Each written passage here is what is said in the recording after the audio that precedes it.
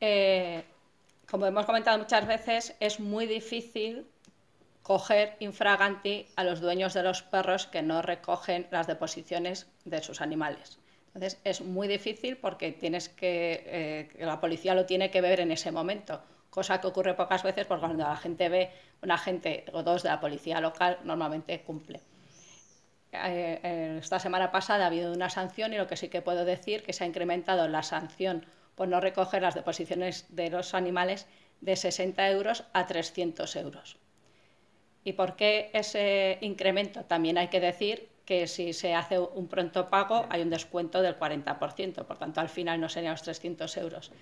Pero es uno de los problemas que tiene esta ciudad, el incivismo de algunos, y digo algunos, son, yo creo que la inmensa mayoría de dueños de perros somos limpios,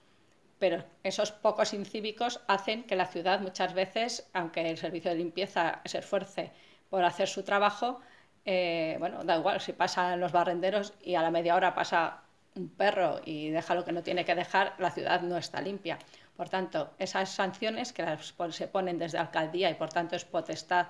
del alcalde, en este caso, eh, imponer esas cuantías, pasan de 60 euros a 300 euros. Insisto,